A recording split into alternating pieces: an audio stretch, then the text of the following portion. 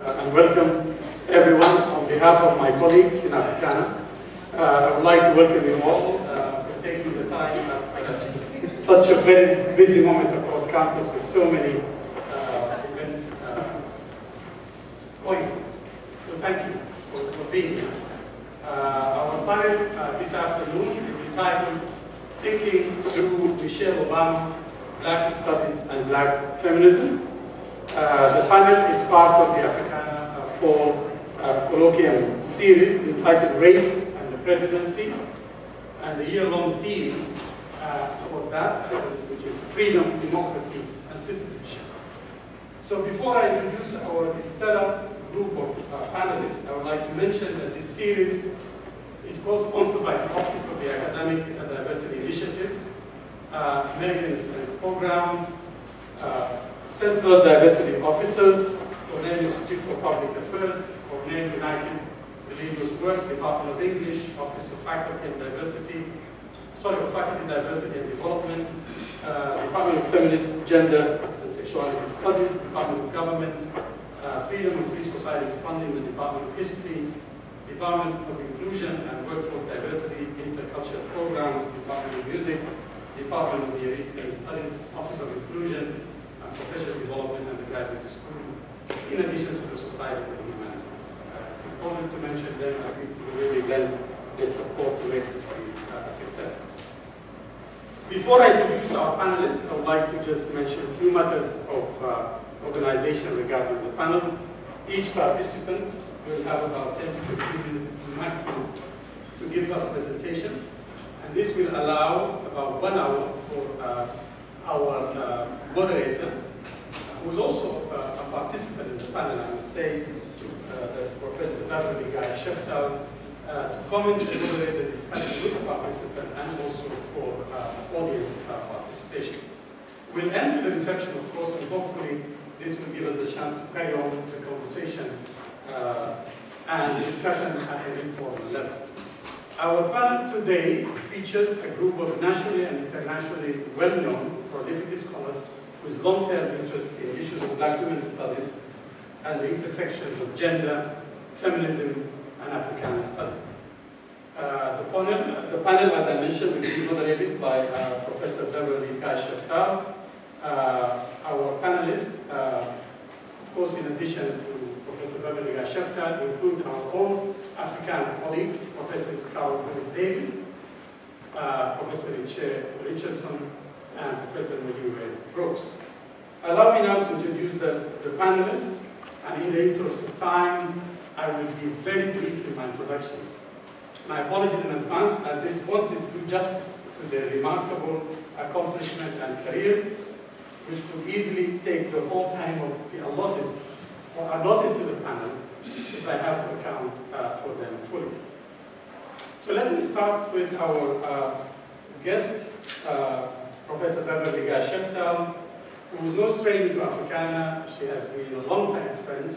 She has been very supportive as we went through uh, the building of Africana itself and the new hires as a member of the uh, advisory board or advisory group of scholars uh, for Africana studies. Uh, Professor Guy Sheftall is the founding director of the Women in Studies and Research uh, Resource Center uh, and Anna Julia Cooper Professor of Women's Studies at Spelman College. She is past president of the National Women's Association. Her most recent books, and as I said, I'm just going to try to be very brief uh, because these are just few of her publications, include uh, Still Brave, The Evolution of Black Women Studies, uh, uh, Who Should Be First, Feminists Speak Out, on the uh, 2008 presidential campaign, which she co-edited with uh, long-term collaborator, Professor Johnnetta Cole. Prior to these books, she has published a number of texts within African American and women's studies, which have been noted as seminal books by other scholars, including the first anthology on black women literature, Sturdy Black Bridges, Visions of Black Women in Literature, in 1980, which she co-edited with Roseanne Bell and Betty Parker Smith. And also Words of Fire, an anthology of African American feminist thought, in 1995, and co-authored with Johnnetta Cole uh, the groundbreaking work, Gender Talk, the struggle for women equality in African American communities. In uh, 1983, I must mention that she became the, company, uh, sorry, the, the, uh, the, uh, the founding co-editor of SAGE, a scholarly journal of black women studies uh, that was devoted exclusively to the experiences of women of African descent. Uh, let me just now turn to also uh, briefly mention my, the bios of, of, of my colleagues. let me start with Professor Carole Boyce Davies, uh, who is a professor in Africana Studies at the Center, also in the Department at Cornell. She was a professor uh, at Africa New World Studies at Florida International University in Florida, in Miami, Florida, where she was recruited uh, to build, which she did, the African New World Studies program and served as its director for three successful uh, three-year appointments, uh, which definitely have seen or witnessed the moving of the program to international fame and recognition. Professor Carole Boyce Davies held distinguished professorship at a number of institutions, including the Herskovits Professor of African Studies and, and Professor of Comparative Literary Studies and African American Studies at Northwestern University.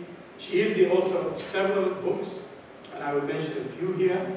Uh, that is including Black Women, Writing and Identity, Migration of the Subject, from 1994, and Left of Karl Marx, Claudia Jones, uh, Black Communist Woman, was published by Duke University in 2007. In addition to numerous scholarly articles, Professor Carole Boyce Davies has published the following critical anthologies, in Ngambika, Studies of Women in African Literature, uh, with our colleague uh, Anne Adam here in the audience, uh, of Kumbla, Caribbean uh, Women and uh, Literature, published in 1990, and a two-volume collection of critical and creative writing entitled Moving Beyond Boundaries was published in 19, sorry, 2003. Uh, she also, she was also the general editor of the Encyclopedia of African Diaspora, uh, published uh, in 2010, and most recently she published Beyond Containment, Claudia Jones' Activism, Clarity and Vision, which contained the writings of uh, Claudia Jones.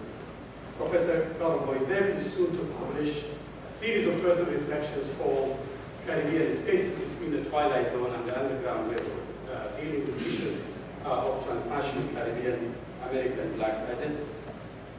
Uh, Professor Riché Richardson, who is also uh, a colleague at Africana here, is currently an associate professor and she serves as director of undergraduate studies. She's a scholar of African American literature with additional specialties in American literature, gender studies, and Southern studies. Born and raised in Montgomery, Alabama, she attended Spelman College, she also received a PhD from Duke University in 1998. Her essays have been published also in many journals, uh, such as American Literature, Mississippi Quarterly, the Forum of uh, Modern Language Studies, Black Renaissance Noir, uh, Transatlantic, and Nka Journal of Contemporary Art. Her first book, Black Masculinity and the U.S. South from Antidote to Gangster, was published in 2007 and was highlighted by Choice Books among the outstanding academic titles uh, of 2008. Uh, her book in progress uh, examines uh, black femininity, the US, and the global South. Uh, since 2005, she has served as co-editor of the Southern, uh, of the New Southern Studies book series at the University of Georgia Press. And as a visual artist, that's another dimension of her life, which is the creative side, the academic work, has been uh, features uh, in several solo and group uh, museum exhibitions and in two short documentary films.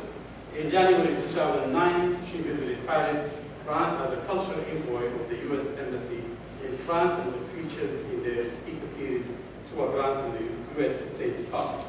And honored with a talk, an exhibition, and a film is screening at the ambassador's residence. Uh, the last of our uh, panelists here is uh, Professor Noliwe Rooks, who is, just joined us this year from Princeton. she's an associate professor in Africana Studies and a specialist in gender, sorry, and also in the program of Feminine Gender and Sexuality Studies. She's a member of uh, She is an interdisciplinary scholar who works on the racial implications of beauty, fashion, and adornment, racial inequality in education, race, migration, Urbanization and Black Women Studies. She has published several books, and I will just cite a few. Uh, Hair Raising, Beauty and Culture, and African American Women, uh, which was published in 1960, sorry, 1996, uh, and was awarded by choice uh, the Outstanding Academic Book of 1997, uh, and selected by the Public Library Association as an Outstanding University Press Book in 1997. Uh, another publication includes Ladies Pages, African American Women Magazines and the Culture That Made Them, published in 2004. And uh, our most famous work, uh, which is on black, in the history of black studies in the United States, entitled White Money, Black Power, the History of African American Studies, the Crisis of Race in Higher Education, which was published in 2006. And she was also associate editor of a book Paris Connections, African American Artists in, in Paris, uh, which was published in 1992, and also an editor also of another uh, book entitled Black Women Studies, uh, I will stop here, as I said, if I continue, take time. I hope I didn't take much time. Uh, but then you can see it is actually, as I described it, a panel of stellar scholars. So welcome everyone, and welcome the panelists, and I give the floor now. Uh, and please join me in welcoming Professor Guy.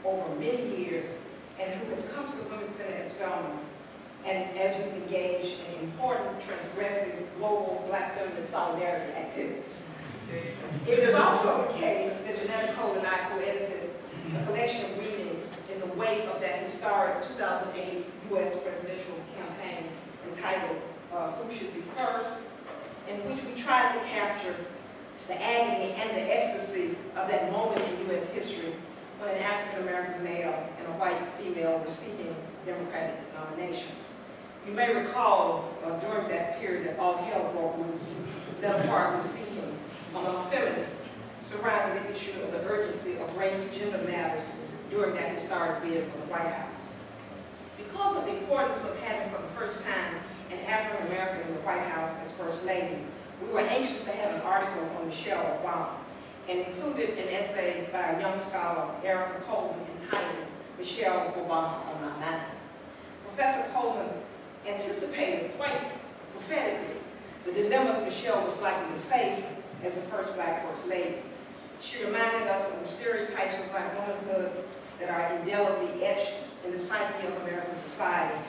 And feminist critic Michelle Wallace asserted during the time black women have, have a hell of a history to live down.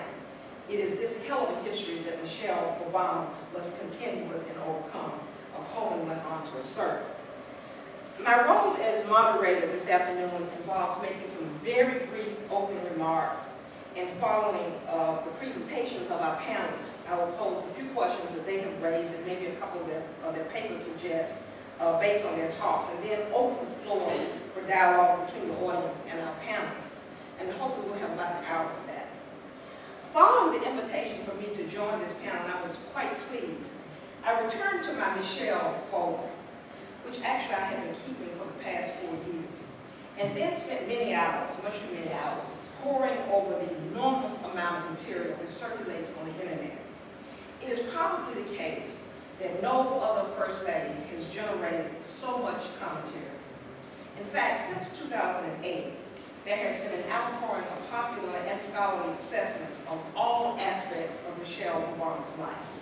Her marriage, her fashion choices, First Lady projects, debates about her mom and chief self-designation, her allegiances or not to feminism, her makeover from an angry black woman you may recall to one of the most popular women in the world, the racist portrayals of her in the media, including the most recent one in that Spanish magazine where she's depicted as a semi-nude African slave. Uh, that article is entitled Shell. Granddaughter of a Slave. You might really want to read it, it's really uh, unbelievable. She has been the subject of serious scholarly treatments by black feminists such as Rebecca Wanzo, one entitled Black Love is Not Fairy Tale, Melissa Harris Perry's Reading Michelle, The Gender Politics of Race in the Age of Obama. I might also mention that Michelle teaches a course at Tulane on First Ladies, in which Michelle features prominently. I don't know what she says in the course. Uh, Cathy Cohen's Black Love, Black Deviance, and the Politics of Morality in the Age of Obama. She, uh, Cathy, has spoken, which I think is really good, about the perils of idealizing heteronormative nuclear families, including in African-American uh, communities. Despite the seductiveness of this project, given dismal marriage statistics, uh, Cathy reminds us of, of why this could be problematic. One of the things that I uh, uh, hear a lot moving around among young black women is, is what I call uh, looking for Obama uh, project among young African American women who think that Obama is the perfect manifestation and embodiment of black manhood, and they hope to find one out there. There's also Khadijah White Michelle Obama redefined the white housewife, which appeared in the new journal called Third Space. Before turning to our panelists, I want to begin with just a very, very few comments of own, The first thing I want to say is putting on my generational black woman hat. Uh, Michelle is a very familiar black woman to me. Uh, competitive, I mean, competent, grounded, solid, stable, take charge. She's also very familiar to me in another regard in the sense that she states very openly her ambivalence to feminism. And I just mentioned one quote from Washington Post that was particularly compelling to me. You know, she said, I'm not that much into labels. I mean, the question was, do you consider yourself a feminist? You know, I'm not that much into labels. So probably if you lay, if you laid out a feminist agenda, I would probably agree with a large portion of it. I wouldn't identify as a feminist, just like I probably wouldn't identify as a liberal or progressive. I like the candor of that statement, but I wish could talk to her more about it. So that the difference she really underscores. Number two, I think black women are most palatable to various public audiences, including African American ones, when we embrace patriarchal family structures. And I think Michelle is no exception. And I think that we, when we are publicly very embracing of our partners, as Michelle is, we really get 100% A plus rating. I'm not necessarily making a comment about it, but I will just And then finally, I would just say the complexity and fascination on the part of many publics with Michelle Obama calls, I think, for more gatherings such as this one, as we attempt to make sense of perhaps the most public and popular and controversial African American woman in our lifetime. So those are my little comments.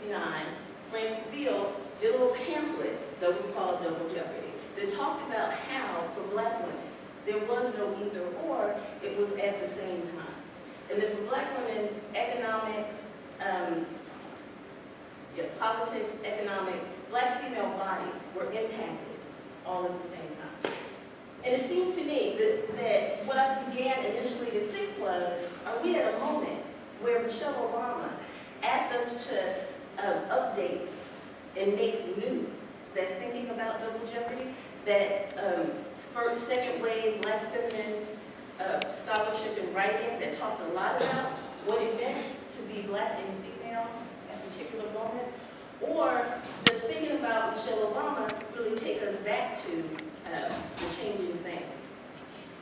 Right? Is it a difference without a distinction to talk about her in this period, or in fact, is the first black first lady make uh, make all of those kinds of uh, issues collide differently? So the gender politics of race when having it all. So the having it all and then I'm narrating this, I'm not going to read it to you. this is just for the first issue, right, which is the terms of the um, conversation around Michelle Obama. Really is this summer, my former colleague, um, uh, Professor Slaughter, authored an article about how difficult it was for her as a member of the Obama, uh, yeah, the, the Obama administration working in Hillary Clinton's State Department. Um, she had taken a leave, she had two young children, uh, well, two teenage children.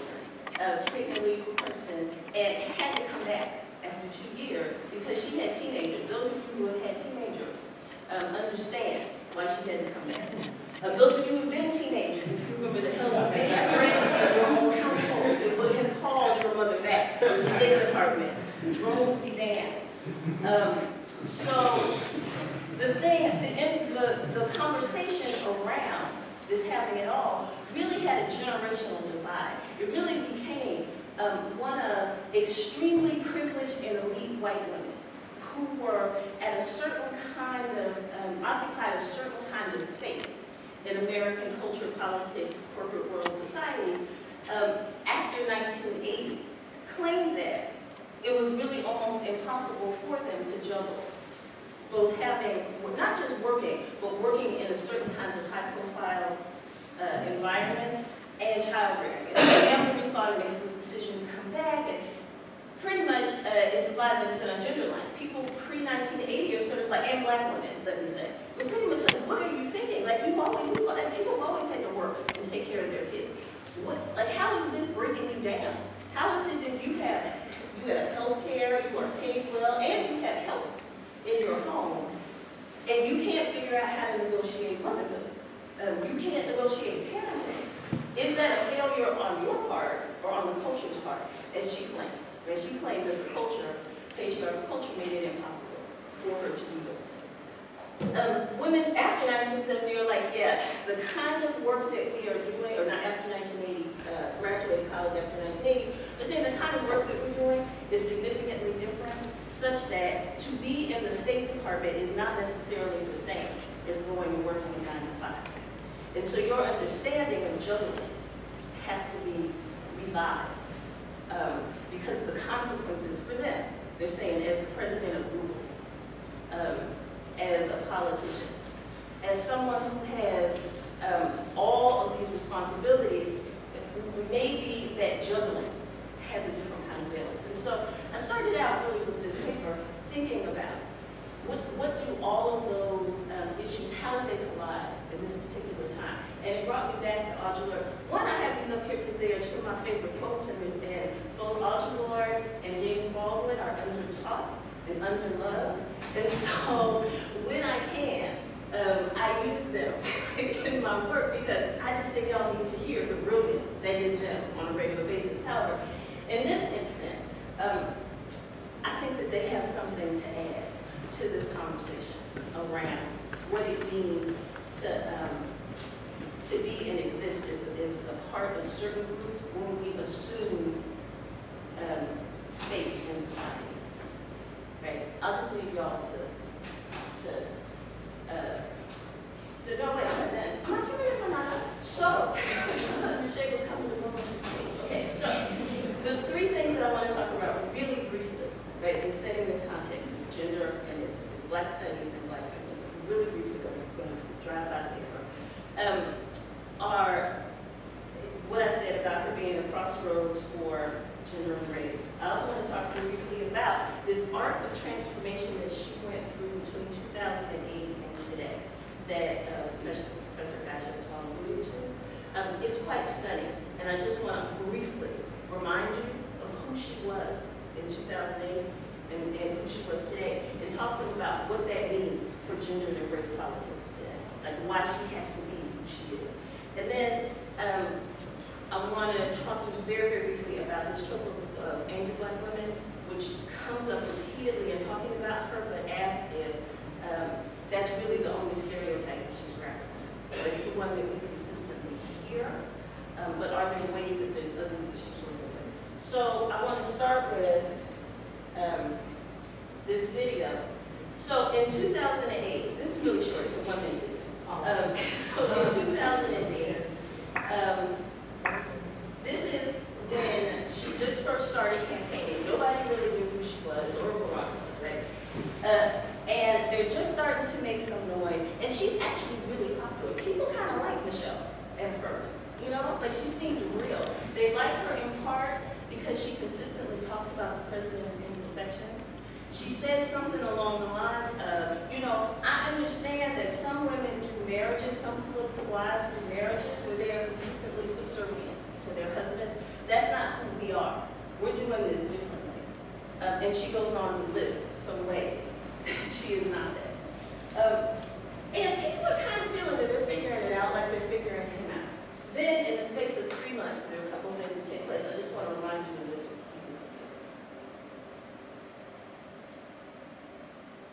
I don't think we, we've seen that. But what we've learned over this year is that hope is making a comeback. It is making a comeback, and let me tell you something. For the first time in my adult lifetime, I'm proud of my country. And not just because Barack has done well, but because I think people are hungry for change. Uh, and I have been desperate to see our country moving in that direction and just not feeling so alone in my frustration and disappointment. I've seen people who are hungry to be unified around some basic common issues and it's made me proud. And I feel privileged to be a part of even witnessing this, traveling around states all over this country and being reminded that there is more that unites us than divides us, that the struggles of a farmer in Iowa are no different than what's happening on the south side of Chicago, that people are feeling the same pain and wanting the same things for their families. All right, so this little one minute video was unscripted. This was not what she was supposed to be standing up there talking about. Nobody was asking her to talk about it. She was happy about her country. Nobody was asking her to draw connections and comparisons between people and farmers and people on the south side of Chicago. She felt, this is what she felt. And you can kind of get the sense that she is speaking the truth, right, for herself. This did not go over well in 2008. Um, Fox News, conservative media, and just regular folks had a number of issues with what she had to say. The soundbite is just consistently is the first time in my adult life that I'm proud of my country, right? People just had a field day with that. You can see she goes on, right? And she's kind of like, because of hope, not, not because I'm an angry, radical black person who hates America wishes this right. Mean, she goes on to explain exactly what she means. None of that was at play. Two weeks later, um, my former institution blindsided the campaign by releasing her senior thesis. Two weeks after she's saying this, right? And it's, it's still, you know, people are still bubbling up, and what does this mean? And we think there are all kinds of radicals, and it's a big problem. And despite the fact that they had told the campaign that they would warn them ahead of time, they did not. They just released it. And so in the midst of dealing with this, they're blindsided by this thesis that undergraduates, you may understand, it sounds like what y'all sit, well, what, what sometimes in class, it sounds to me like y'all sit around and talk about. Um, sort of, what does it mean to be in an elite institution, elite white institution? What does that say about, how does that impact the feelings of empathy that you have for black communities and poor people in black communities? Does, is, is, a, is the price of the ticket for, for inhabiting these spaces that you have got to think about your future as separate from the best interests of those people. And she's talking very honestly in her thesis about how, you know, for her, uh, that's exactly what started to happen. While she may have had some particular plan when she came to the institution, she's now starting to think about some different ways. She now wants to go to Harvard Law School as opposed to going straight back to Chicago Southside, right? She's talking honestly, she's, she's 21. Um, again, this does not go over well. It's kind of like she's alienated, she's angry, she should be grateful that she's sitting up at Princeton, and, you know, here she is with a whole big critique of, you know, what, what, what why black people um, think that they'd rather go live in the ghetto as opposed to go to uh, Harvard Law School, which is kind of interesting when you think about um, Teach for America today, right? Like it's kind of sexy for elite students to think about leaving elite spaces and go work in the ghetto. Then, at, for, for people thinking about her in the 1980s because she should have been rightful, horrified. So, uh, things are going downhill. and she's literally dragging the campaign down, right? Her numbers are so low. Um, the, and, and are, she is becoming such a focus that the entire campaign is having to respond to her as opposed to her um, really just being the normal kind of first lady who's smiling, says a couple things, blah, blah, blah. Then in March, of course, the Reverend Wright uh, comments hit the news. So now we have this, these images of her, one month later, it's a month later, they're still figuring out what to do with this. Um, and you have Reverend Wright. So, can I click? No, no, it's just another.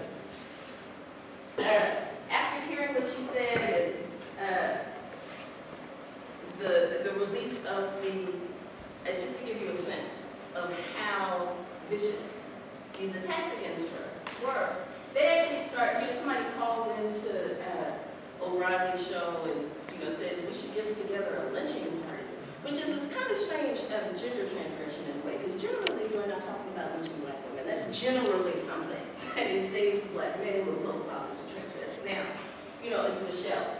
We're going to get us a lynching party, but of course, you know, before we do, we just need to find out if she really thinks we're bad, but, you know, that's at least an option. From this point on, they had to, to go into um, deep to a real deep, and then of course this is not children, but um, the, to a whole kind of image reconstruction.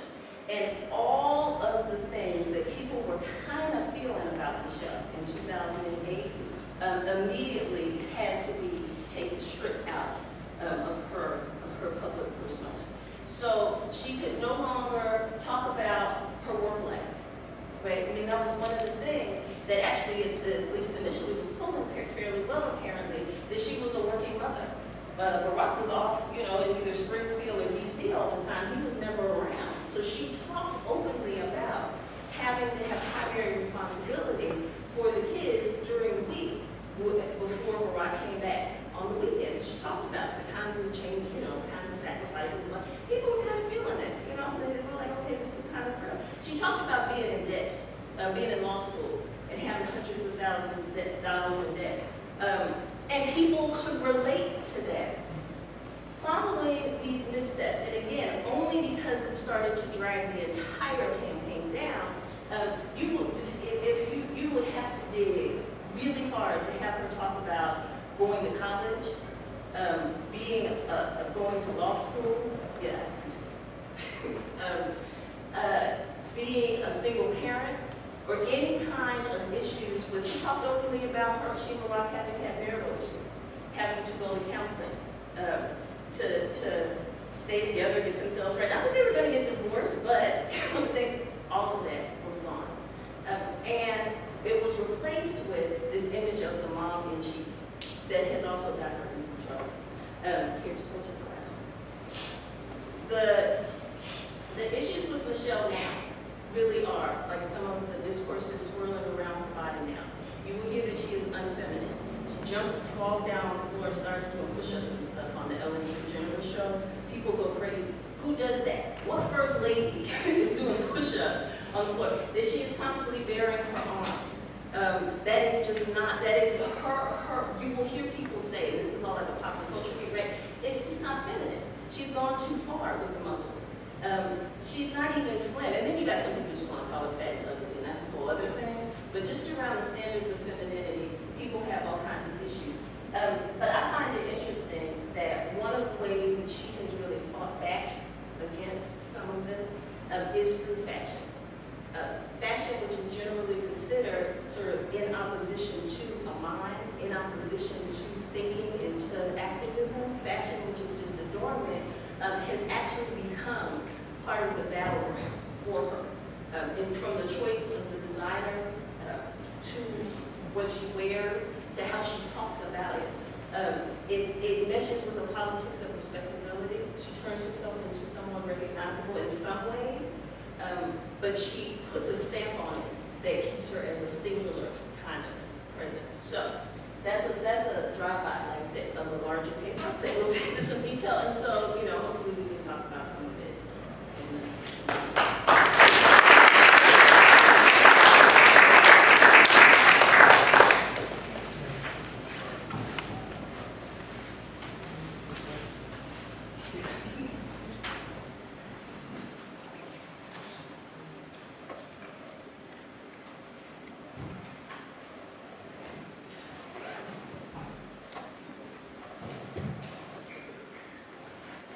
Good evening.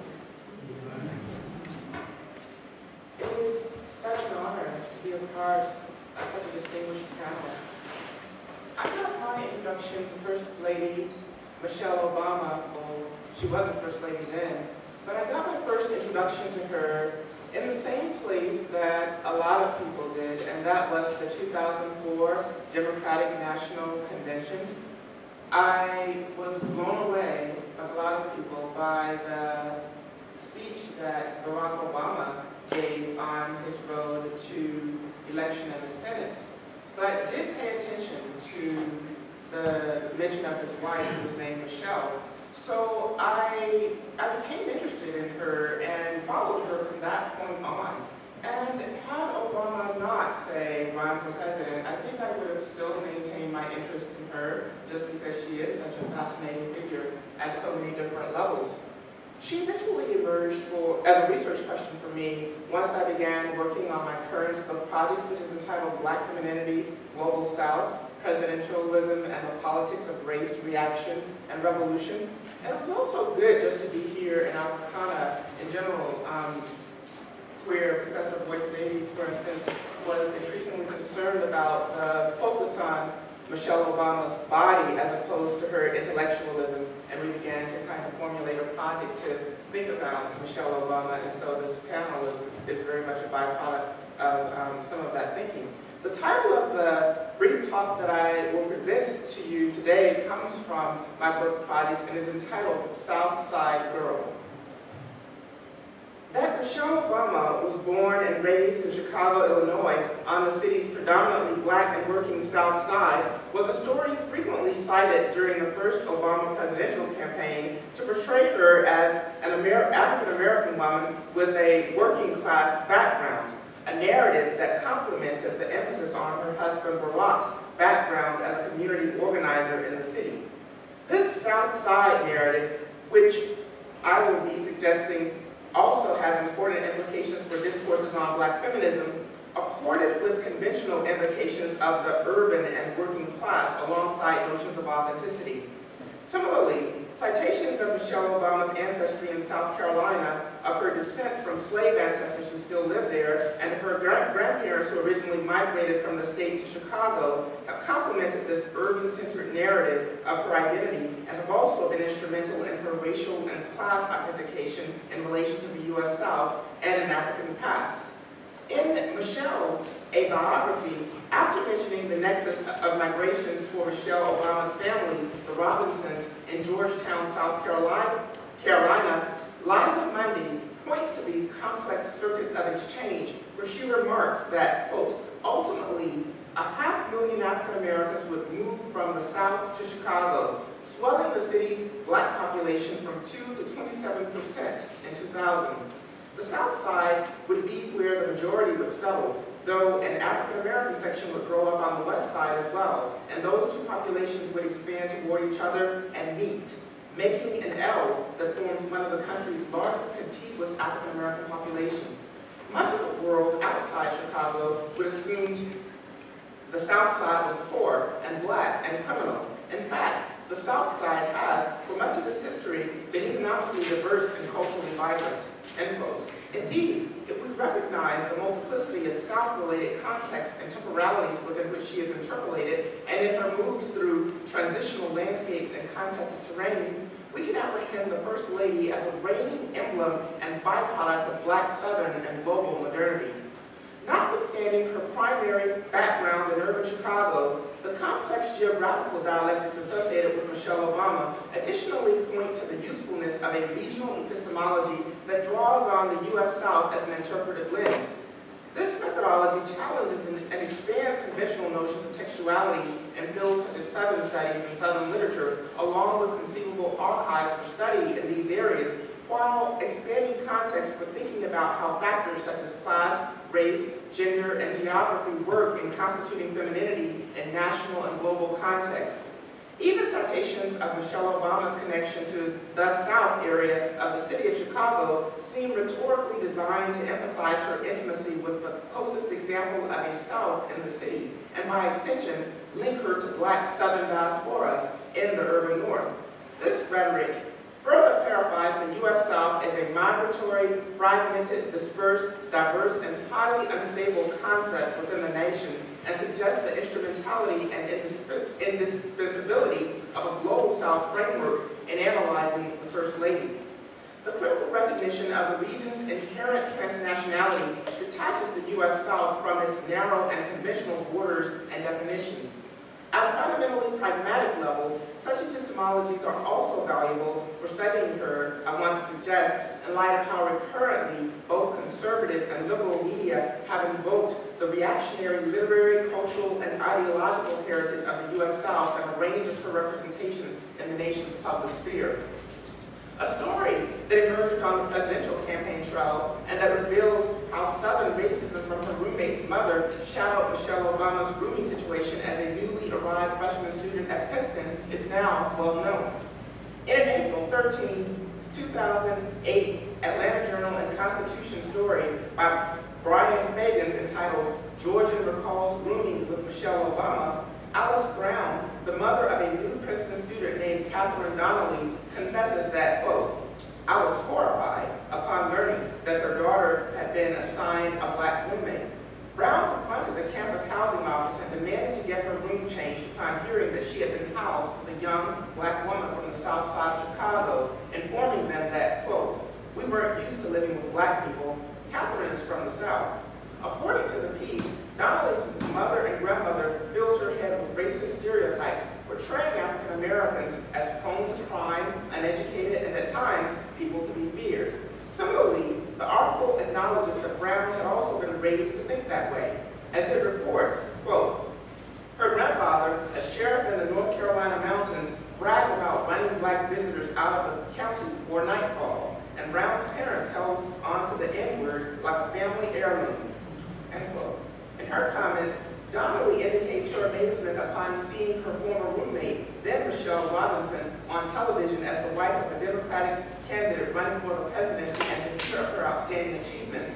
She looks back to their time as roommates at Princeton and expresses regret about her family's racist reaction to this young black woman from Chicago back then. On the day that her daughter moved into the dormitory room, Brown's very phrasing in speaking to Princeton's housing office about her disapproval of the black roommate that her daughter had been assigned reflects a separatist view of the U.S. South as being a synonymous with white subjectivity, logic that consigns blacks in the region to irrelevance and invisibility. Similarly, her mother's comments reveal deeply ingrained stereotypes of blackness, along with spaces identified with black culture, such as Chicago's South Side. That the effort to move her daughter was urgent and frantic is evident in the article's description of an overnight calling marathon in which Brown engaged with her mother and another friend to find a contact at the university who might facilitate a room change. Donnelly calls her mother, Donnelly calls her mother, who in turn phoned the friend who had traveled with her to Princeton all those years, years ago. The friends had stayed up that night, calling everyone they knew with a connection to the university, hoping to get Catherine moved. Quote, we thought this is so ironic, Brown says. Obama could be the first lady in here who wanted to get my child out of her influence. It is much to Donnelly and her mother's credit that after all these years, they chose to come forth and be honest about the thinking in which they had been mired back then, and that their views about race have since become more enlightened. The story provides a concrete and sobering illustration of the continuing influence of segregationist logic in the post-civil rights era during the early 1980s and confirms its far-reaching impact. While this episode concerning Michelle Obama's freshman room, roommate at Princeton is loaded with the more pejorative connotations that have been attached to the South Side of Chicago in the cultural imaginary, the Obama presidential campaign framed Michelle Obama's roots in this area as an empowering asset, beginning with a short biographical video narrated by her mother, Marion Robinson, entitled South Side Girl, to introduce Michelle Obama to a national audience on Monday, August 25, 2008, the second night of the Democratic National Convention in Denver, Colorado. Uh, I won't play this video, but you can find it on YouTube. It's about six minutes long if you um, Google it.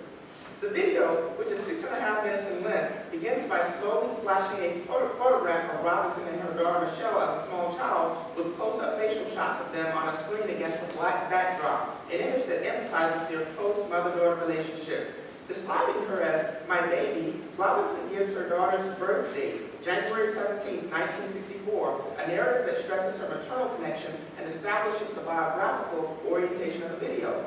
Southside Girl acknowledges Michelle Obama's creation of a community center at the University of Chicago, further emphasizing her outreach and her community in Chicago. The video frames Michelle Obama in relation to her roles as a daughter, sister, wife, and mother.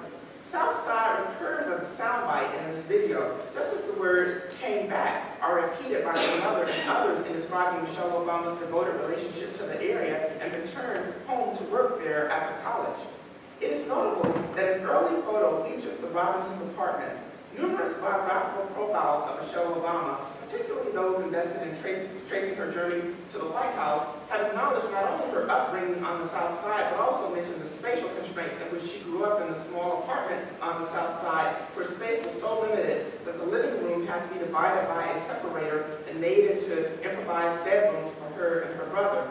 The video links Michelle Obama with a stable and solid family background and depicts her through its narratives, visual interviews, and photographs as the product of a two-parent home, the kind that mirrors the structure of what is typically imagined as normative for, American, for the American family. This video narrative of Michelle Obama unsettles the typical pathologies of the South Side of Chicago by describing it as a place where stable, loving black families exist who are capable of raising successful children like Craig and Michelle Obama. Similarly, it reveals the existence of devoted black mothers such as Marion Robinson, in effect further decoupling the South Side from pathology and foregrounding an African-American woman who was a stay-at-home mother raising her children with a husband and a nuclear family. The video's invocation of the word girl echoes the term homegirl and frames Michelle Obama as the byproduct of a rich and stable family as much as it constructs an image of Michelle Obama as down-to-earth and in touch with everyday people as a woman as her father had been as a man. Furthermore, the mention of her as a girl highlights light and youthful images and offsets media representations of her as angry and revolutionary, the kinds that Professor Rooks highlighted in her presentation.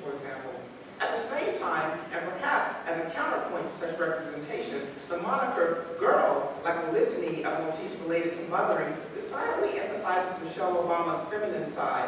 It begs analysis within discourses of black feminism for both linking her to popular discourses of empowerment that invoke girl power as much as for the levels on which it potentially downplays her status as a woman of achievement. These salient references to the South Side anticipated and established foundations for public acknowledgments of slavery in South Carolina and Michelle Obama's family background.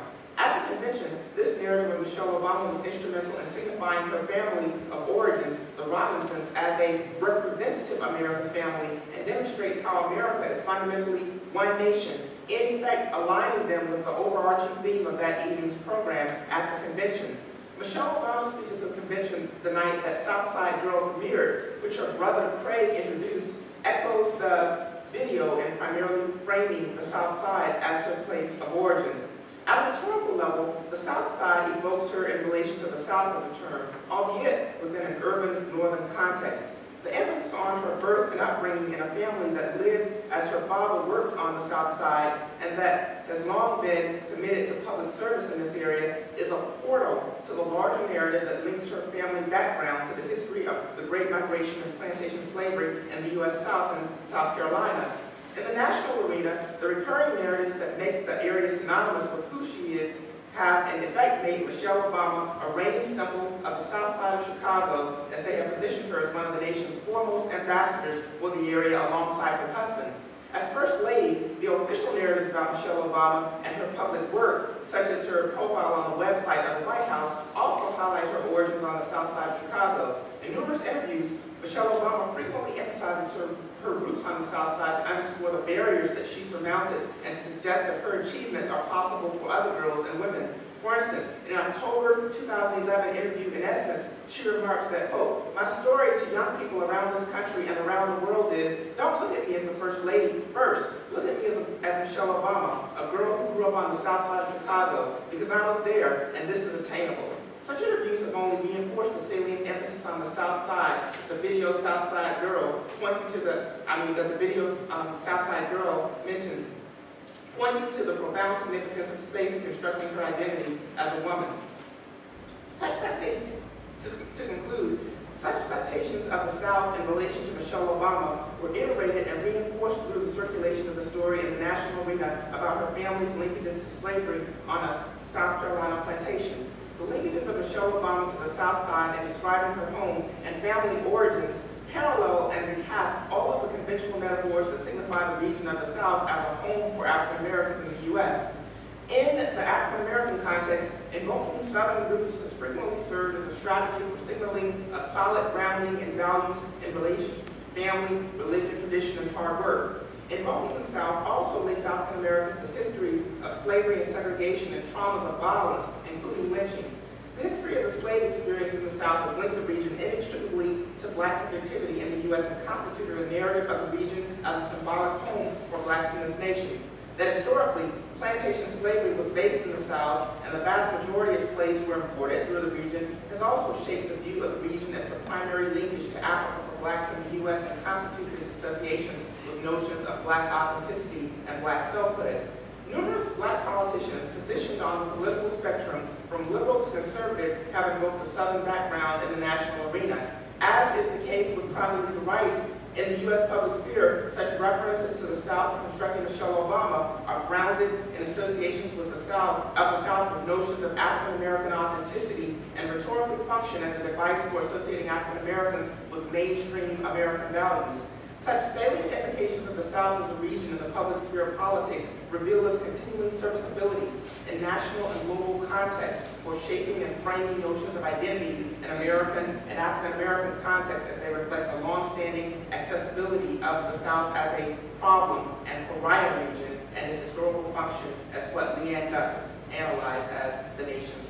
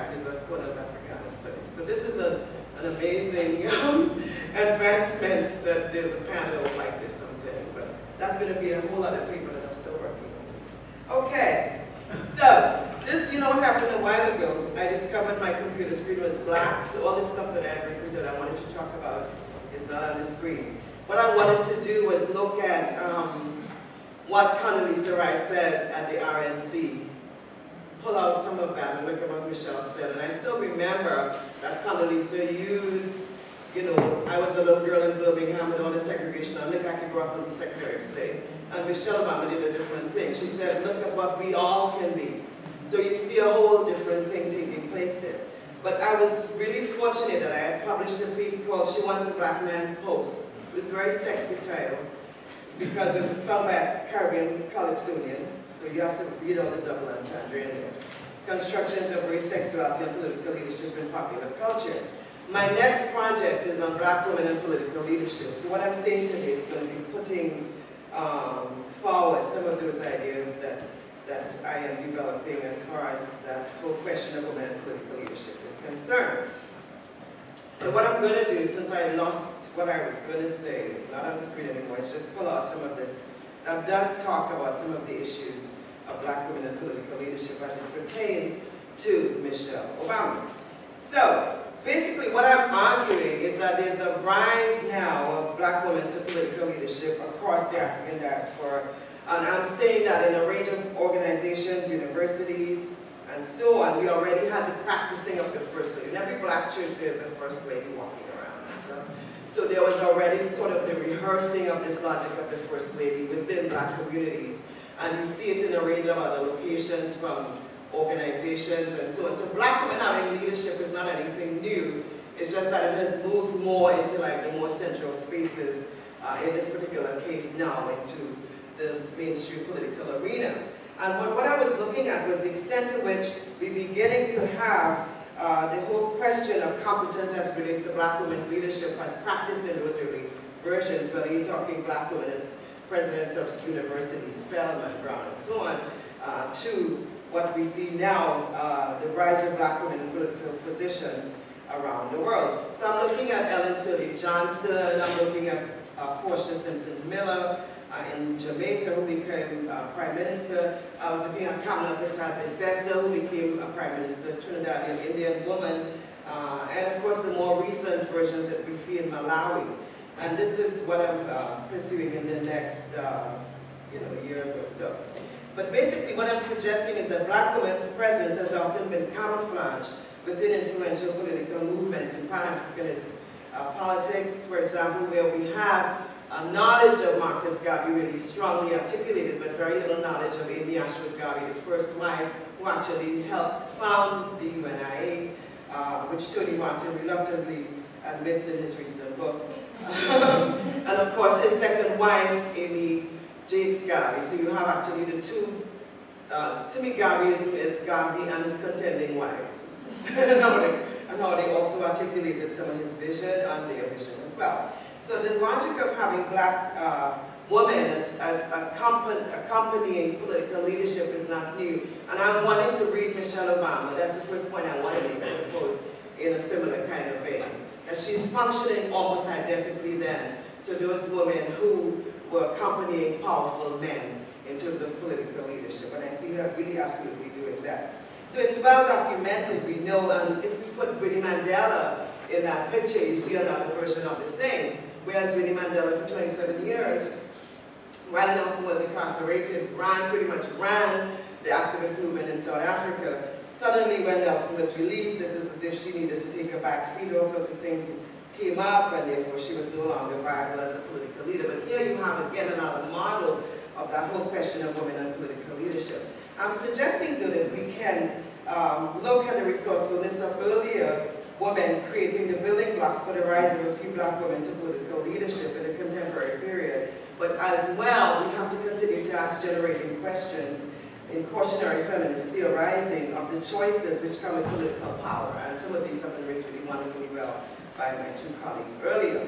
But these questions, I argue, should focus on how gender and sexuality inform constructions and performances as well as leadership practices in the fraught context of contemporary neoliberal capitalism. So we can assess the rise of black women to, black, to political leadership in the United States as the products of decades of feminist and civil rights activism, challenging the logic that leadership is always and only white and or male. While there were black male senators in, in the immediate post-emancipation period in the United States, it was not until after the civil rights movement that we saw the steady increase of black male um, leadership and female leadership in political positions. Shirley Chisholm, you know, we can talk about that. And I was quite gratified to see Alfre Woodard is going to do a film on Barbara Jordan. Uh, and I believe Barbara Ransby talked about uh, Eslanda Goode Robeson uh, last week when she was here.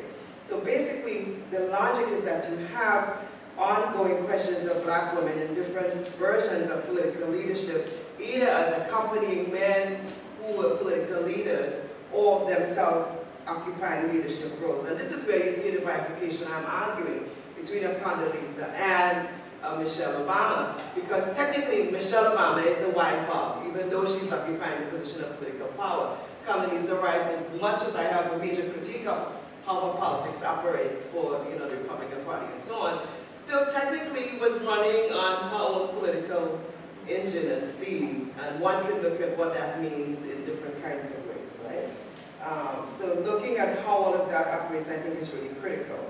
So many acknowledge, though, that it was a has been a combination of race and gender that kept both Barbara Jordan and Shirley Chisholm from accessing the high offices um, that one sees today and actually getting to U.S. presidency. As you know, Shirley Chisholm did run uh, before Barack Obama, and often students are really shocked when they know that there was a black woman who actually spoke like she did and actually uh, you know, took on that whole question of running uh, in the Democratic primaries to make it into that. But essentially what we're seeing then in this new millennium is a number of black women who have played influential roles in, in the spheres hitherto defined as holy, clean, and white.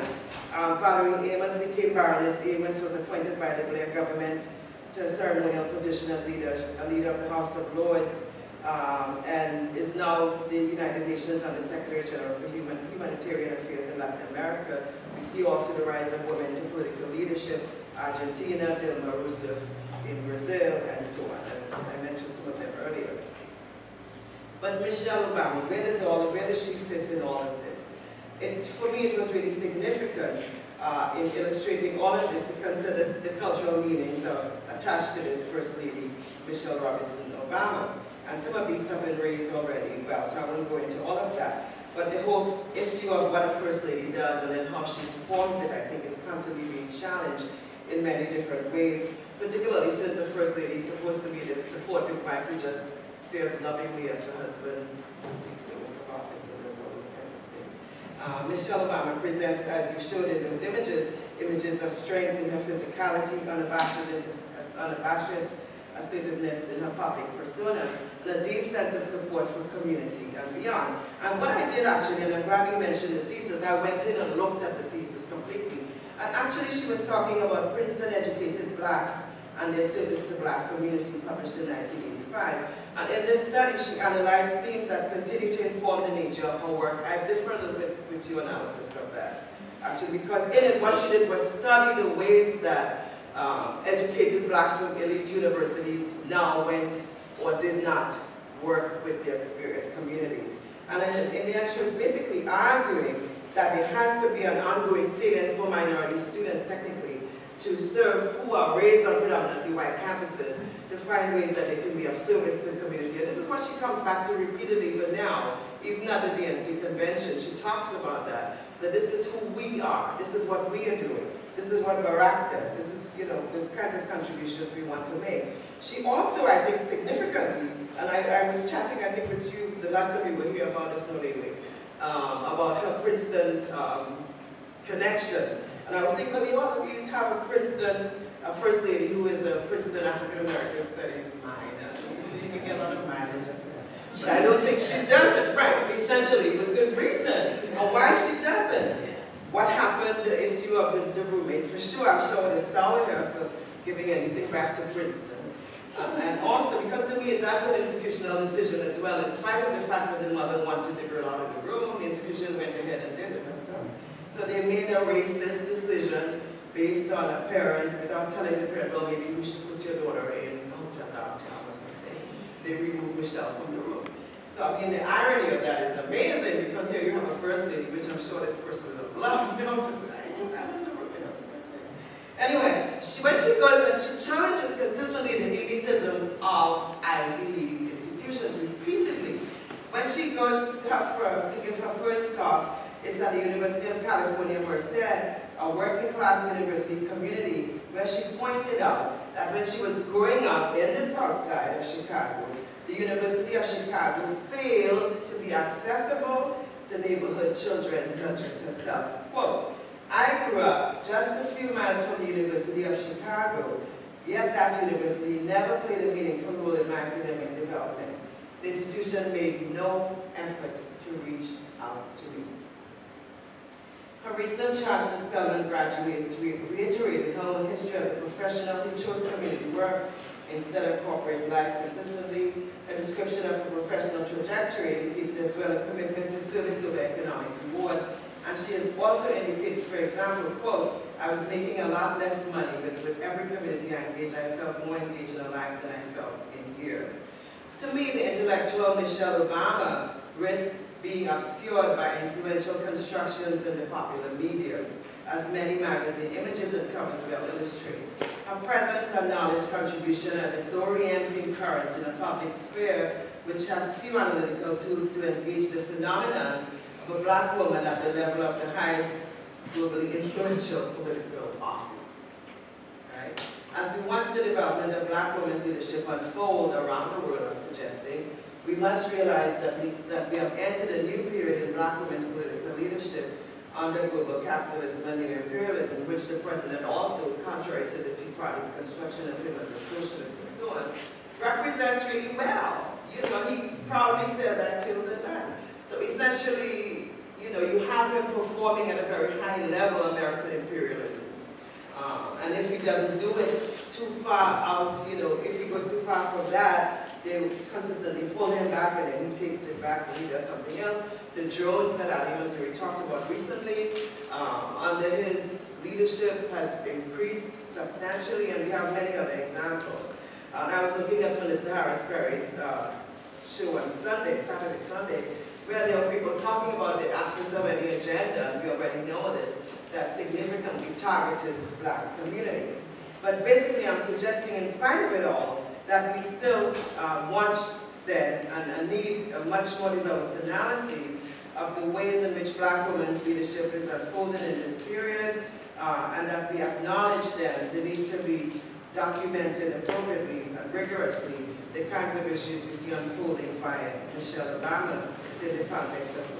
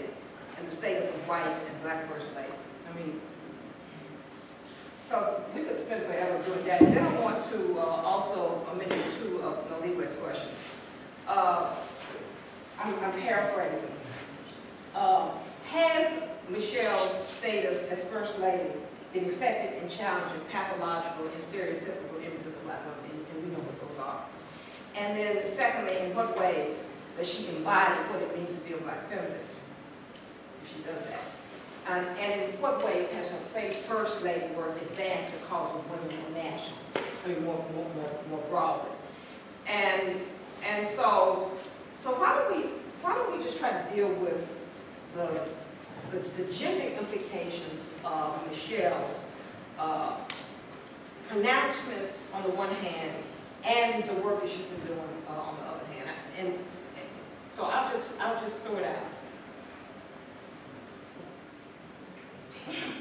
Well, you know, I, I wanted to address the, the mom-in-chief question because Michelle loves to use that. And on the one hand, it is absolutely clearly response to that really angry black woman construction. Um, I mean, with, with black women, you just walk in the room and the angry, angry black woman stereotype shows up somehow. So that's a, a one thing. In spite of the fact that, that you know, she, what she said had a whole narrative behind it, the first part of it where she was saying, I, you know, I feel first I'm happy about the U.S., that becomes a problem, that becomes angry. But, but the point is, when you, I mean, within feminist scholarship, the question of motherhood, within certain forms of cultural feminism, is considered, you know, a, a power position. If you look at African women's scholarship and so on, the question of where motherhood rests within community always ends up being articulated as something positive. So in other words, being mom and chief is technically for black communities in, in diaspora not particularly negative in that kind of way. However, on the other side, I mean, I just witnessed my daughter give birth. So I, I mean, that is not an easy thing to, to, to do, to be a mom, period. Much more to be a mom and chief. Okay, so essentially, that's, we hold that on the side. And there's been quite a bit of scholarship on the role of mothering and feminism and so on. On the other, however, being a mom doesn't give you the power within the political constructs in which decisions are made. It's not valued by the dominant culture. So, so when she occupies mom in chief, she's automatically assuming all of those narratives. On the one hand, the cultural meaning of mom and Mother's Day and so on, and I'm running my doors and all of that. But on the other, where does that leave you in terms of political power and making decisions and so on? And I think that's the contradiction, that little nexus there that creates the little problem. But there are others, I'm sure, that, that you all probably know. But that's one of the first ones I wanted to at least.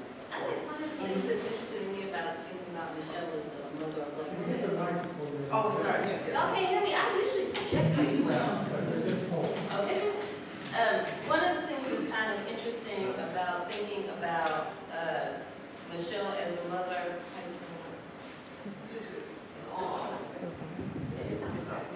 Uh, is that, it doesn't sound like it. Try, try. Um, is that uh, one of the, the sort of newer stereotypes, so the thing, what I got stuck in in this paper, like why it ended up being a whole big paper, is because there are these old traditional stereotypes about black women, Jezebel, Mammy, and Sapphire, right? Um, but there's some new ones that, that are as recognizable. I was telling my husband, just think of a Tyler Perry film, right? They pretty much are all embodied in any Tyler Perry film that you want to see. The kind of new, or the, the ones, some, some of his genre, not, not that now he's new, right? Like he's got new, but his older kinds of things. Um, there's a whole thing about black women as bad mothers, right? Like, so they, you, you move from um, the, this feminist, white feminist narrative is really about motherhood is empowering, and, and in black communities in the 1920s, turn of the century, Um, there's a whole thing that Booker T. Washington and others and black women are doing about, you know, getting the homes and raise up your families, and that's how we're going to know that we actually fit. Like, there's a whole thing about a narrative about motherhood that really assumes that you are a bad mother, and then you think of some more contemporary scholarship like Dorothy Roberts, who, who you know, talks about how in public policy the courts assume a kind of pathological, or, or you know, a sort of pathological um, nature when it comes to mothering. Specifically, she talks about crack mothers in, in her in her work, uh, where she locates that. So the thing that became interesting to me in sort of locating Michelle Obama in some of the more kind of contemporary areas, this whole thing about working black women.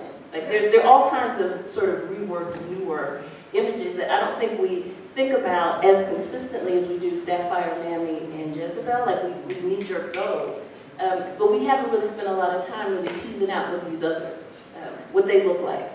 So Michelle Obama, there are ways that despite her claiming of mom and she, I kept running into that, that well, wow, doesn't she kind of look like bad mother? So for example, when she talks about the reason that she got all on this whole obesity campaign is because she took her kids to the doctor and the doctor was kind of like, their health is bad. You know, and it doesn't really, it, it, I don't even know if it's true because it's at that level with political campaigns and, and public personas, the stories that people end up telling about their lives and their kids, you got to take with a grain of salt. These two children, however, are at the highest levels of public policy because they keep deciding stuff. Apparently, Barack's involvement on gay marriage was because his daughters told him that, you know, what are you thinking? It was the whole BP, with the whole BP spill, you know, in New Orleans. You know, apparently Malia came and said, Daddy, what are you going to do about the big hole? And that's when he decided to get involved, or at least the story that he tells. Um, his deciding to deal with immigration uh, was because, according to him, you know, uh, because, you know, he, they had friends and they were trying to figure out what he was going to do with this. So these girls are basically running the country. but what you hear about Michelle is she's doing this obesity thing because she failed, right? Because she, or neither she nor Barack noticed that their health was going down.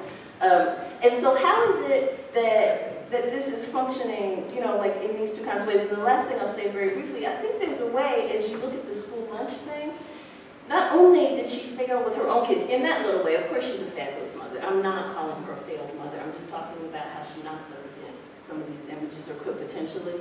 Uh, not only did she fail with her kids, but you know, kids have started to rise up and protest about this school lunch thing. So she, she decided that people were, were eating too much because we have obesity in the country. And so she got the Department of Agriculture. She was a mover and shaker getting the Department of Agriculture to severely cut the number of calories for breakfast, lunch, and dinner. All these kids now are making viral videos where they are busy fainting on the floor and at gym and passing out because they're not getting enough food. Because what, uh, what obese black poor kids need, apparently, is not the same thing that wealthy, white, active children need. So there's this whole under the table, or kind of behind the scenes thing that's going on. Then again, when she starts mothering other people's kids, she felt so. She's she's it's, it's complex. That's a long way of saying it. It's complex. And I have just one point to add to this whole question of Michelle Obama framing herself as mom in chief that, that we um, she's one of the ones that we're, we're beginning with. And that goes back to um, an aspect of my presentation where I mentioned the video South Side Girl, well, again, that video introduced this speech that Michelle Obama gave at the 2008 Democratic National Convention, which was intriguing to me for the levels on which um, she began by introducing herself to the U.S. public sphere as primarily a wife, mother, positioning herself in relation to, to various people in her life.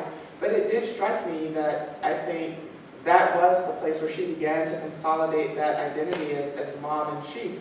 And I thought to myself, wow, well, as a person who's still single, eh, you know, and and who doesn't have children as yet, introducing my, how would, you know, I, I plead, you know, an introduction before the U.S. public sphere. And so it, it just struck me that that kind of, um, that soundbite has the potential to alienate, say, um, a substantial portion of the citizenry, in- including a lot of people who are single and who don't necessarily fit into those models for whatever reason.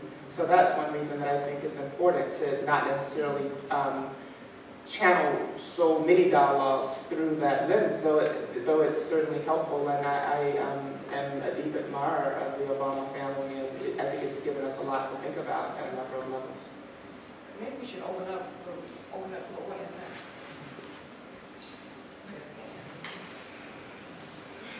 Um, Thank you for um, such stimulation, and, and and I know this will go on for a long time. Uh, So that's why I'm going to first. Um, I want to just add to Carole's list of wives, Carole's list of wives uh, of politicians, uh, Shirley Graham Du Bois. Uh, She was a closer, at least in, in Ghana, she was a closer confidant to uh, Kwame Nkrumah than her husband was.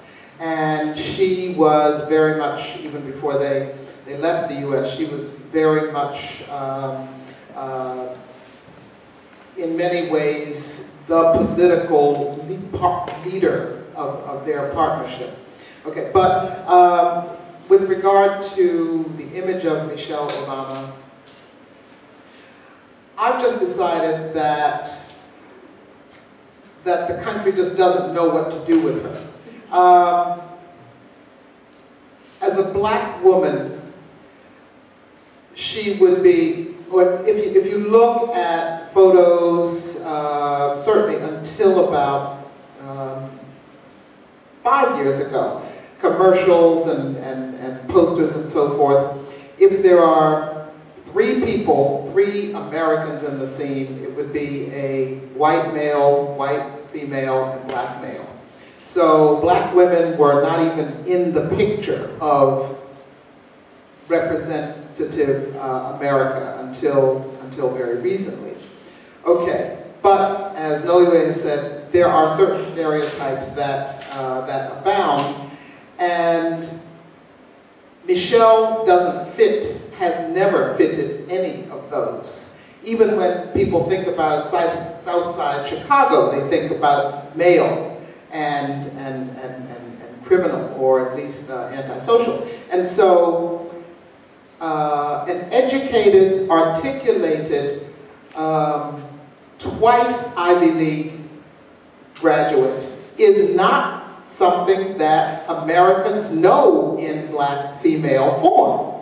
And so I think that Americans, that, that, the, that the larger society has to first be able to fit her into a mold that they know of for black women, and then they can decide whether they like her or what they think about her as, as, as a first lady. But since they can't fit her into any one of those molds, um, Hillary Clinton, before her, was an independent first lady, uh, and of course, standing by her man at the critical time, certainly just, you know, overturned all of that. But nevertheless, politically, she was, and of course, she was working with his health program, but she, she performed as an independent, freestanding uh, first lady who had a program, who had an agenda, of course, complementing uh, the president, but nevertheless,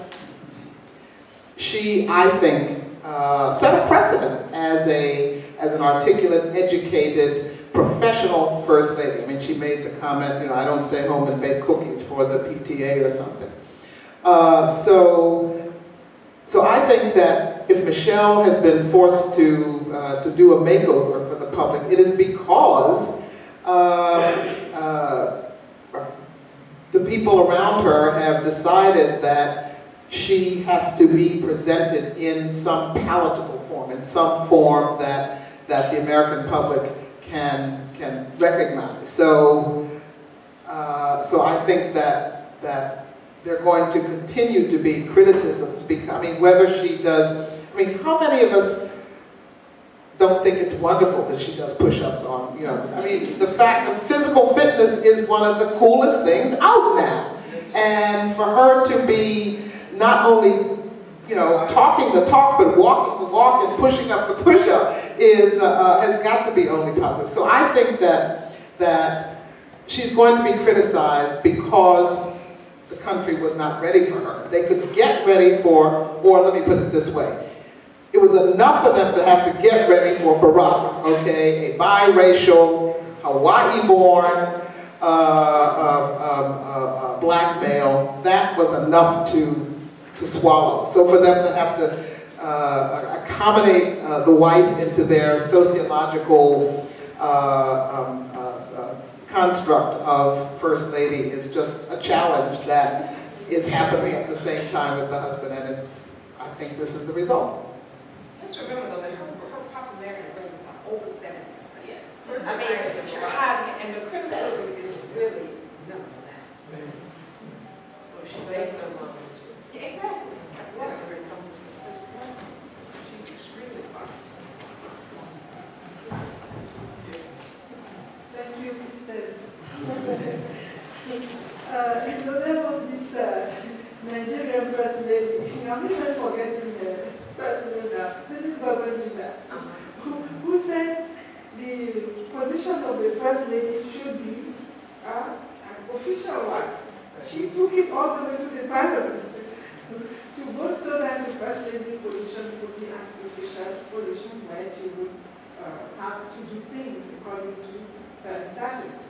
Of course, it was voted down, and uh, some of the women, uh, even women, voted it down too, for different reasons. But the point that I want to make here is uh, Hillary Clinton uh, was told, as, as uh, I, I was recalling, the health care program, and the reaction was, we didn't elect you. Right.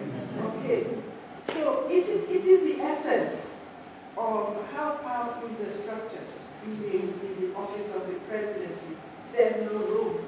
So my question to you, if you can elaborate a little bit, that juggling of uh, Michelle, to, to remember that if they did it to Michelle Obama, uh, I, as a black woman, uh, with all these stereotypes of the, uh, the overpowering black woman, hungry of power, and, and angry, and so on and so forth, how to tone down, uh, to not to do damage to the husband president. So you could elaborate a little. So, I, I, don't know if this is going to answer your question, but you know, earlier today, but I think it's my attempt to. It is my intention to. I'm not sure I'm going to get there. Earlier today, Beverly and I were talking about, and Riché actually, um, we were talking about, do we remember the man's name, the 2 Chainz? Two, two, some, is this some rapper named 2 Chainz? Two, two, who's got nasty things to say about black women's butts and everything else? The homecoming invitee at Morehouse Spelman. Right, and where he's been, apparently he's on a black college tour, um, and is going to a lot of black colleges and very popular black colleges, and the level of um, sexism rising to the level of misogyny, I want to say, um, is is di- disturbing. Which led us to really start talking about the fact that um, pa- patriarchy and sexism is absolutely unreconstructed um, with the rise of the Obamas. There's been some, at least, lip service to talking about race in different ways, lip service. Um, so around race, often in my student, uh, with my students, we were talking about, or, or very often, people know what not to say about black people or about Latinos, right? What's going too far. Or they'll be very hesitant to just sort of let fly um, with some of the more aggressively racist formulations of people. Um, and, and since Obama's election, that's been more the case. It's a, it's a, um, it's, in some ways it's a problem with liberalism, right? Because you never actually get to have an honest conversation because there, nobody wants to hurt anybody's feelings, so nobody says anything meaningful. But beyond that, they have some sense um, of what's far. With gender, there is no sense. There is no line. There has been no conversation. Um, there's been no complicating of what gender or, you, you don't even talk about patriarchy. It's, it's sort of like a- an anachronistic word at this point, um, you know, to talk about a society that is structured along gender such that one is consistently privileged over another. You, there's no space for it. And if the rise of Barack made having um, particular kinds of complex conversations around Barack, uh, around race more difficult, right? Because now the thing is, if you work hard, everybody, you can be president. I mean, that's a sort of knee-jerk kind of thing. Racism can't be that bad. Look at Barack. He was poor. He was from a single family, and he wrote. If it made that difficult, talking about um, what the, the violence that stereotypes actually do, um, you, I, I mean, I'll end here because this is going to be a soapbox, but um, the lack of conversation around things like uh, female slavery and trafficking in the United States, right, which is growing, and I live in the Bronx, uh, I live in Ithaca, but when I'm not in Ithaca, I have an apartment in the Bronx. And one of the issues is the numbers of 8 to 14 year old black and Latino girls who just disappear. Right, just disappear. And half the time nobody's even looking for them. Sometimes people do. Sometimes, I mean, they're families, right? Or there isn't a family, or they're in transition, or they're housing insecure, or they what. So a lot of times there's nobody actually looking for them. But this, the trafficking of black and Latino young girls um, is huge. It's not Thailand. It's not Eastern Europe. This is happening in communities, but there is absolutely no conversation in most black and Latino communities about it beyond why are you looking for the little white girl and you never look for mine. But taking it a step further um, to really look at the, how disposable black girls and Latino girls are. Literally disposable. That's why the traffickers want them. Because you can use them up till they're, till they're done.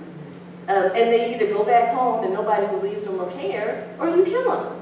Um, and the, the, the relationship between that um, and slavery and a whole bunch of other things should not escape us. But the fact that we can have that couple in the White House and talk about race in some ways and not talk about gender at all, I think is our failure, right? I mean, I think those are individual failures. Um, so that's that's my intention to answer your question, but I'm not sure it's the direct answer. Let me just say to the, when, when Cathy Cohen, you know, who's a queer uh, black feminist theorist, goes around and talks about the problematic of this idealized, romanticized marriage, uh, it makes black people very uncomfortable. Uh, you know, it's like, okay, we have this perfect couple in front of us, and why is anybody saying anything problematic about it? And, and one of the things that really bothers me, as I mentioned, is going around listening to highly educated African American women believing that the world will be perfect if they can find an Obama. I mean, they, even saying that, that I wouldn't even necessarily have to work anymore. In, in other words, like Michelle, I can forego my, doesn't really matter that I have all these credentials. It doesn't really matter that I had this kind of a job. What, what, I, what I really want is a, is a black man who loves me, who loves me and reveres me as much as it appears that Obama does. I mean, this is very sad to me. That's, that's true. Well, no, not, not, not to the same extent, believe me, I, I, I do not hear white uh, college women uh, longing for a Obama. Uh, to the same extent. but you know what the difference is, I think, is There, there, there, uh, there, there, and there's not this whole history, there's not, there's not this construction of black, of, of white men as people who don't love their women. So there's a, there's a, there's a very different kind of situation. And all I'm saying is, one of the things I keep saying is, we have images of black love. We, we, we, we have had those, but somehow, somehow it's as if this is the only black couple in the world where we've seen obvious love and respect. And I think that's very sad.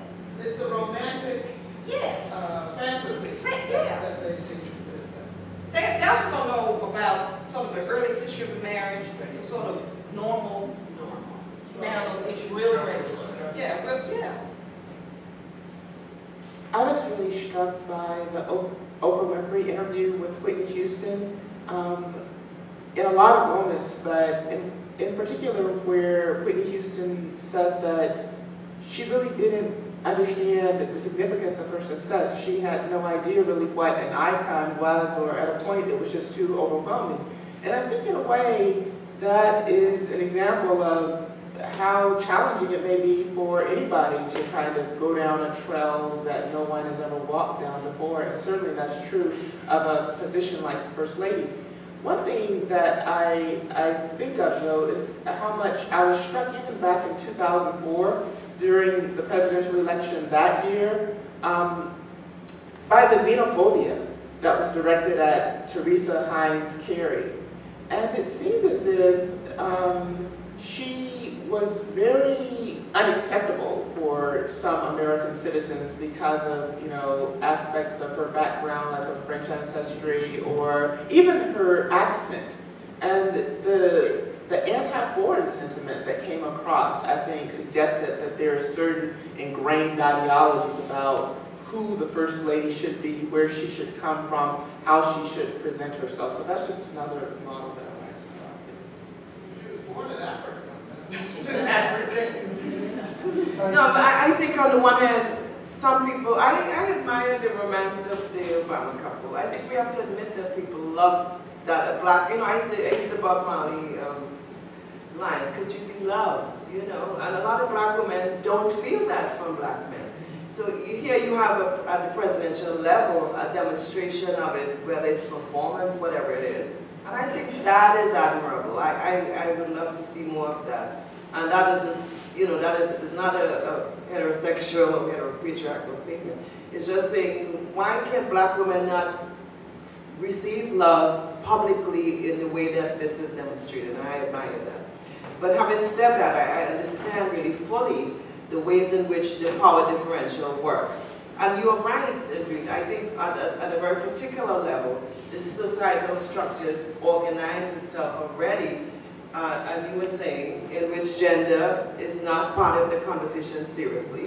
So that therefore, you know, the, the, the racial question, whether they want to frame it as post-race or whatever, gets located at the same time, you have an amazing heightening of racism as demonstrated against the, the president and the first lady and so on. So, I mean, it's that whole question of intersectionality that, that people talk about. In other words, what happens with race and gender collapses really fully when you, it's like you have to look at one or the other.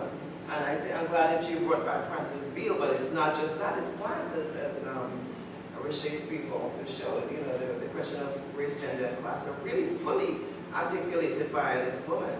So, uh, and the president as well, I'm sorry, I, I think you do have that operating at the same time that you have them sort of navigating all those spaces, so that you have discourses of incompetence from the last debate really floating everywhere, like he was incompetent, he was whatever, so that it's already, you know, framed as if black people are not going to be able to be successful in this way at, at two different levels.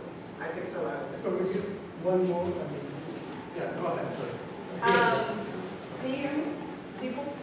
Um, I don't have my question all the way worked out, but um, I'm trying to think about the ways that black people consume Michelle Obama, because I think that, especially in 2008, and I see it happening again, she's really been, when Barack Obama's black authenticity has been questioned, she's been that like, oh, well, Michelle Obama's in his ear, right? It's like, okay, and then you see from black women, her hair is laid, she looks good, I'm like, I want to be like her. And for men, like, they want their Michelle, right?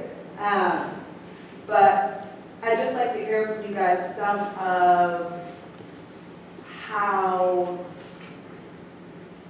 black love of Michelle Obama and of the Obama family um, kind of looks politically because we're also in this moment where Barack Obama hasn't really earned a lot of a lot of political clout from black people in the past four years. Um, and Michelle Obama is out there really hard. Um, and it's like he is really this figure of neoliberal capitalism. He is a figure of imperialism in this moment of expanding warfare and what it looks like to have this family representing all of that. Yeah. I, I just want, to, Kimberlé Crenshaw, I was with Kimberly at a conference in Manchester, and she was sitting around talking, and she had this amazing reference. She said, when Obama signed that Al Green, I'm so in love with you, he did the classic thing of the black guy who didn't really love you, but now he's like, and, and played it for the entire community. So I thought, you know, she really touched on something interesting where that is concerned. So that in other words, he doesn't have to really lover for black people, but he can go and say, "Babe, man, you know, I love you." And essentially that's what's going on according to Kimberlé, and I, I definitely agree with her in terms of performing it with Blanche. And at the same time, he, you know, I plays, I see him doing the gangster. He plays gangster sometimes. When he is able to walk out and say, I just killed Bin Laden after having laughed at the press club at Donald Trump's hair and so on. At the same time when Bin Laden was being killed, that's straight out of Godfather. So essentially, he plays, performs presidency at, yeah, an amazing number of levels. Um, and I think that's the interesting thing. But I guess the, you know, the, the black love question, I think that the thing that made black women feel comfortable was that he had a black woman. And he didn't have like a, a woman who's very light with straight hair, he didn't have a white woman, he didn't have all those other things. He had a woman who was physically looking like a darker skinned black woman than what he is. And often very successful men tend to not do that. They tend to, tend to go the opposite direction. So I think that's the other fascination. I think that I know people around the world, when they think about Michelle, feel comfortable that he made that kind of choice for whatever. I know there's all kinds of debate about why and why he chose a black. I don't want to go there. I just wish, you know what, I, I wish, I mean, where was Michelle during the Shirley Sherrod case? I, I, I, if, if what we read is true, which, which is not like, if she does not get involved at all, in any political discussion, if she is totally outside of that, then that, that's, I mean, I think she should be talking to him about things other than, uh, whatever it is she talks about. I think that she should say something to him about Shirley Sherrod. I, well, if, if what we read is true, if what we read is true, that she does not go there, I think that that's a problem. Because I, I think that she could be helpful to him around issues of race. I mean, one of the, one of the things, I I was in a little private dinner with Shirley Sherrod after that, that debacle. And she, she had a conversation with Obama. She said she was absolutely stunned that Obama said to her, she said something, she said she said something very candid to him about his racial politics. And he said to her, oh, have you read my book? And she said, she, she said, you know, you, you, if you, let's just, you need to admit it, you don't know anything about Southern black culture. And rather, rather than saying to me, you should read my book, she said, you need to, you need to come to the South and you need to know something about black community and culture. Okay, those are the kinds of things I'm I want Michelle to say to Obama those kinds of things, and I don't really think that she does. And I think that that's very problematic. But we won't know until after the presidency, as she writes. But, but everything that he told, mean, but everything, everything he read, and he told He said about her, that she does not do that. he didn't listen. I mean, all black women talk to these Yeah, but I don't listen. listen, I don't listen. I think, I think he would, I think he would listen. So, I guess, let's just really, uh, we can go on. This- I have a question, but I'm asking the. Oh, no, I'm so. We have five minutes, we have five minutes. Did did you want to, no, wait, did you want to respond to that? Well, I was just going to say about the whole black love and consuming the black. I think that black people um, are are starved for images of black love at that kind of level, right? Who do we have? Oprah and Stedman, right? I mean, no, no. I mean, I'm saying, like, if you think about sort of the public figures who would rival Brangelina, right? Who would be the the fairy tale um, sort of black love? Who yeah, Will and Jada, who every five minutes you hear there's something going on, Beyonce and Jay-Z, and then Barack and Michelle. Um, and for a kind of generational thing, Will and Jada and Jay-Z and Beyonce are not, you know, the, it, so apparently the ways that 50-year-old black women vote is the ways that the Democratic Party, the people in the Democratic Party, the black folks who vote in overwhelming numbers are, are black women are, which is a whole other conversation to have about gender politics, right? We're always like black people, the Democratic Party taking black people for, for granted, but in fact, the over, it's like 70%, like the numbers are all out of whack um, of the black people who consistently vote are black women who are over 50. Um, for them, I'm not sure that Jay-Z and Beyonce are doing the same work. That looking at people who are, you know, singing "Let's Stay Together" and you know having an Etta James joint at the at the inauguration, right? I mean, that's that's Stevie Wonder is your first Earth, Wind and Fire, and Stevie Wonder are the first folks you were like. That's a generational kind of speaking to, right? like, um, and I, I, think that we are starved, um, literally, at a certain level for for that, for all kinds of reasons that are worth exploring. Um, but yeah. That's a massive question. We got served on. And I just want to um, mention that I think that there's a kind of hypocrisy in the way that the Obamas have been loved over the years. I think one of the most extreme examples, for instance, is the fact that Obama's Dreams of My Father was published in 1995, or at least was initially issued that year, and it kind of came and went. You know, it was published primarily on the occasion of his election, unprecedented election really, to the editorial leadership of the Harvard Law Review. And the book just disappeared, but became amazingly popular once he entered the mainstream. And in a, in a, in a way, that's how um, publishing can work, or popularity can work. As recently as 2000, for instance, Obama couldn't get onto the floor at the Democratic National Convention. And even for a long time into the presidential campaign, the first time around, he didn't have the support of like, you know, certain cross sections of the black community, certain leaders, until there was a widespread perception that he could win.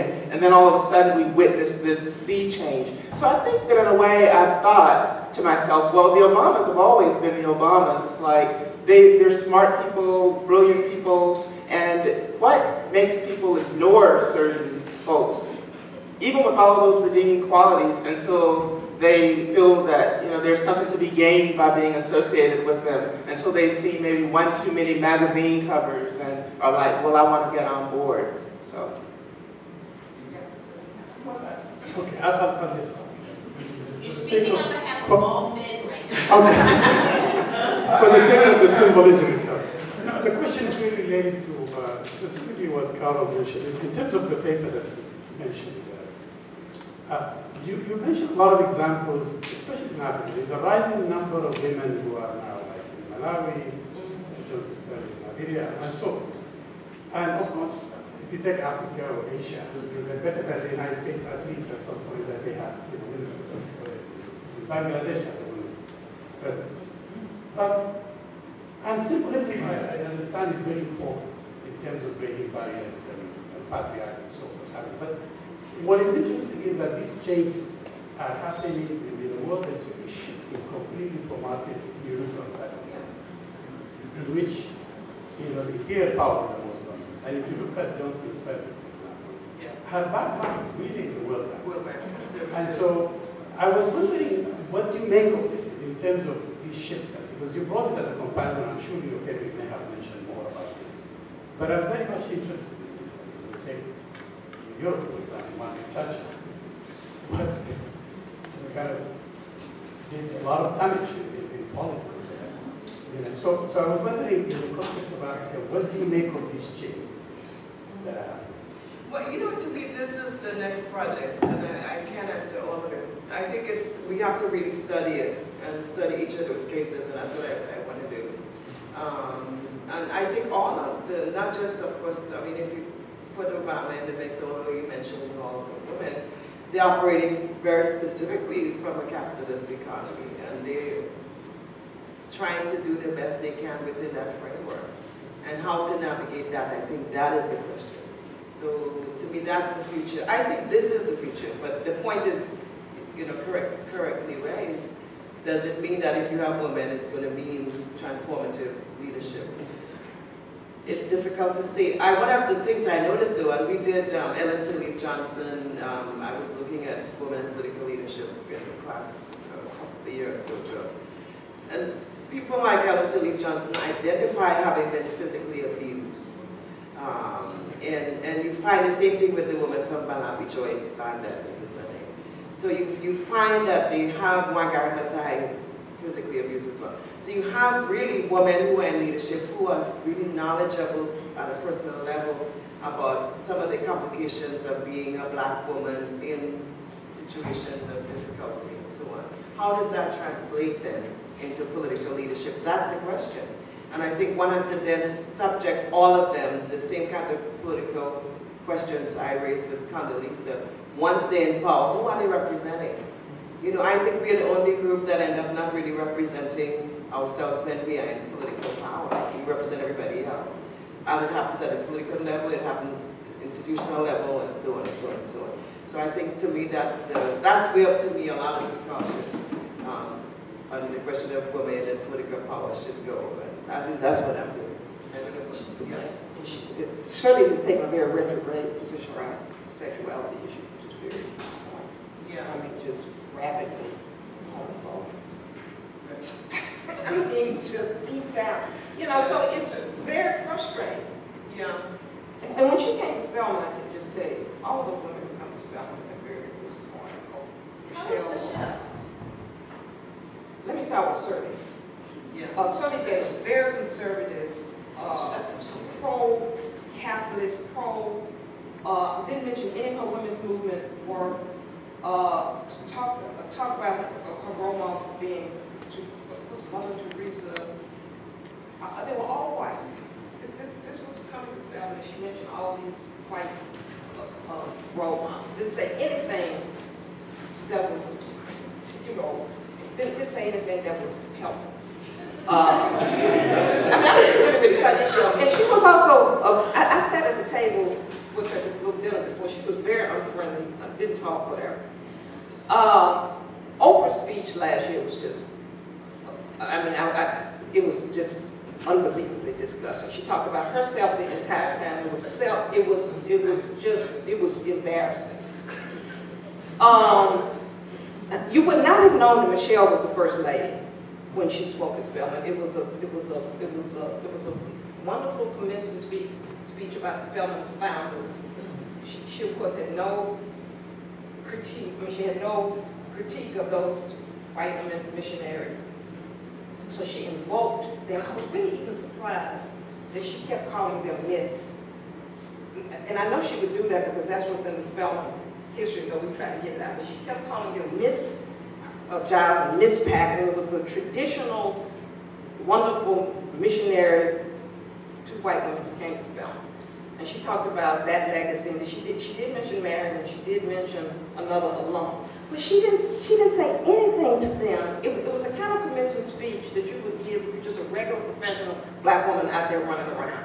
She didn't say anything at all about even being in the White House. She didn't say vote. She didn't say do any of it. It had not one little ounce of politics in it.